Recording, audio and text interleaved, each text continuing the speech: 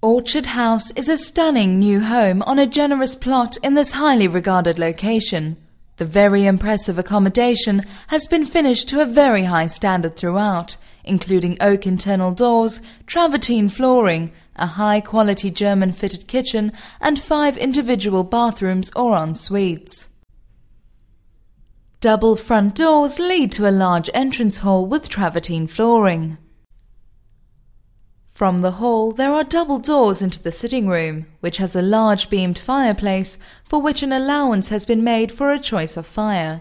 There are French doors to the garden.